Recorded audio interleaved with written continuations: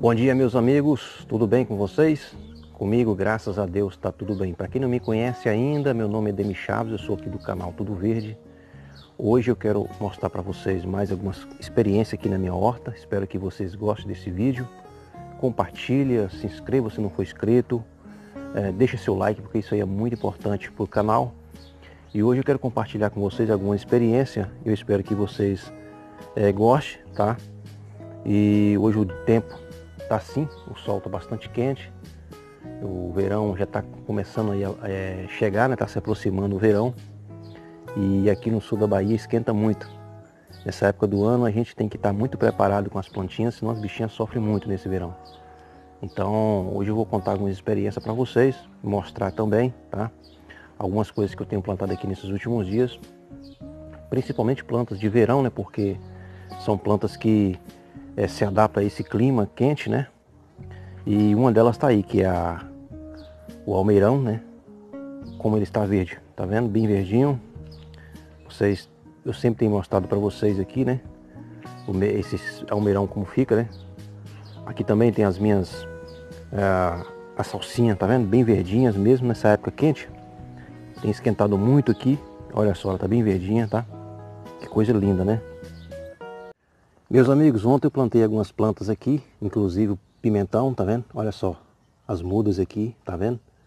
Outra coisa linda que eu plantei também, e tá bem bonita, o erva doce, tá vendo? Eu tenho bastante erva doce plantado aqui. É, eu também plantei as pimentinhas ornamentais, tá vendo? Olha só como é elas estão bem verdinhas, tá? Eu plantei bastante. Eu plantei outras pimentas também aqui no, no, no canteiro. E nesse, nessa época do ano é bom a gente plantar bastante sementes, né? Porque é uma época muito boa de plantio. E tudo que eu plantar agora eu vou colher daqui o mês que vem, mês de janeiro fevereiro. Então já estou me preparando aqui para o verão, para fazer colheitas no verão né? de plantas que são de verão, que se adapta melhor ao verão, tá? Eu já tenho outras que eu estou colhendo, como quiabo, repolho, é, couves, é, berinjela, e também eu tenho aqui o giló, que eu estou colhendo muito agora, almeirão. E outras hortaliças que eu tenho por aí, como também o agrião, o tomate. Tá? Então é muito bom você estar sempre é, dando aquela renovada na sua horta, tá? Sempre se preparando para o mês seguinte. E outra coisa muito importante, pessoal, para você que está começando uma horta agora e ainda não sabe, olha isso aqui, ó. Essas coberturas mortas aqui é muito importante, tá? Para você que está começando sua hortinha e não sabe como começar, usa bastante isso aqui, ó. Isso aqui tem um valor imenso para quem gosta de cultivar hortas, tá? Isso aqui protege o seu solo do sol, né? Porque o que, que, que, acontece? Aqui embaixo desse, desse material existe organismos vivos, como por exemplo as minhoquinhas, os fungos, né? Que ficam aí embaixo se decompondo todo o material, transformando esse material em alimento para as plantas. Então é muito importante vocês cobrir isso aqui, tá? É, que vai trazer grandes benefícios aí para a sua para suas hortaliças, tá? Aqui, meus amigos, eu plantei a abobrinha, tá vendo? Olha só, já tá nascendo flores lá embaixo, tá vendo? Eu acredito que daqui mais ou menos uns 30 dias eu já vou estar colhendo aqui a abobrinha, tá? Olha só. Ela já está dando até flores, esses pezinhos plantei aqui esses dias. Aliás, essas aqui eu plantei a semente direto, direto aí no, no, no, no canteiro, tá vendo? Mas eu tenho outras ali que eu plantei que está se desenvolvendo, tá? Eu vou mostrar para vocês daqui a pouco, olha só. Isso aí é abobrinha, tá? Pessoal, aqui desse lado é o machixe. Tá vendo? Olha só, os pezinhos de machixe aí.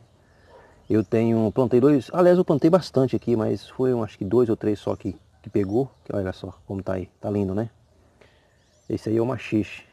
Meus amigos aqui desse lado, olha só como está bonito o meu pezinho de inhame, tá vendo? Eu plantei aqui um broto, né? Aqueles brotinhos que a gente compra lá no supermercado, você compra o inhame, normalmente vem já com os brotos, né? Aí eu tirei os brotos e plantei aqui e, e alguns deles pegou e olha só como tá bonito. Cheio de folhas, né? E tá aí, tá crescendo, tá se desenvolvendo. Tá vendo que coisa legal? É, aqui eu tô com um pezinho de berinjela que também tá se desenvolvendo. Ah, muitas pragas pegaram aqui, tá vendo? Essas aqui são as lagartas que faz isso, né? E aí a gente tem que fazer uma aplicação de alguns inseticidas. Eu sempre ensino inseticidas mais naturais, aqueles que não são muito que não venha causar problemas de saúde, né, para você. E se você não sabe, aí no meu canal eu ensino passo a passo como vocês fazerem. É bem simples, tá pessoal? Vamos ver mais alguma coisa ali? Vamos lá. Olha só o pezinho de couve solitário, como tá aí, cheio de folhas, tá? Produzindo bastante. Mas também plantei mais pimentas aqui. Olha só as mudinhas de pimenta, mais uma ali. Tá vendo? Aqui desse lado aqui, ó, plantei mais abobrinha, tá? Plantei essa aqui, plantei de lá, olha só como elas estão bonitas, tá vendo? Que legal, né? Aqui também plantei o cará. Para quem não conhece o cará, ele parece um inhame, tá? Plantei bastante, tá bem desenvolvendo aí, tá crescendo. Tá vendo que coisa legal? Meus amigos, eu vou mostrar para vocês uma coisa aqui bem legal. Olha só, isso aqui é gengibre, tá? Aqui tem um pezinho de erva doce, ali tem mais um pé de gengibre, ali também tem mais um gengibre que eu plantei, tá? Erva doce também, tá bem bonito, tá vendo? E vou mostrar para vocês, pessoal, como é que a gente planta o gengibre. tem muita gente que tem dúvida na hora de plantar o gengibre. Tem pessoas que enterram totalmente o gengibre. O gengibre a gente só enterra, pessoal, só a metade dele, tá? Você corta o broto, mais ou menos desse tamanho assim, que tá aqui, tá? E aí vocês enterram assim sobre o solo só a metade, tá vendo? Olha só. Ele já começa a nascer os brotos, tá vendo? Depois ele começa a sair raízes e enraizar pelo chão. É bem simples plantar um gengibre, inclusive tem um vídeo aí que eu ensino com mais detalhes é, como plantar o gengibre. Eu vou deixar embaixo na descrição desse vídeo é, como vocês plantarem gengibre de uma maneira bem simples, bem fácil, tá? Então, meus amigos, deixa eu mostrar para vocês aqui mais algumas coisas. Olha só como está minha, meus pés de couve. Olha só o tanto. Tudo verdinho, tá vendo? E as borboletas fazendo a festa aí, ó. Tá vendo? Olha só. Que coisa fantástica, né? Deixa eu mostrar para você também aqui os meus pés de quiabo. Olha só tamanho dessa folha, dessas flores, né? Lindas. Tem colhido bastante quiabo aqui nesses últimos dias. Eu tenho bastante pés que eu plantei aqui, tá? E é bem interessante. Eu vou mostrar para vocês mais algumas coisas ali que vocês vão gostar. Vamos lá. Olha só.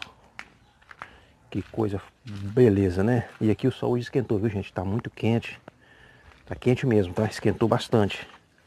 Olha só aqui, ó. Desse lado de cá eu plantei algumas alguns pezinhos de, de berinjela, plantei tomate, pimentão, tá vendo? Já tem aqui um repolho que já está grande, já está no ponto de colheita. Aqui eu plantei o giló, olha só, plantei, tá aqui embaixo dessa, desse material. Olha só como tá, tá vendo? Eu gosto de colocar isso aqui, pessoal, que às vezes você... Isso aqui serve como uma estufa, né?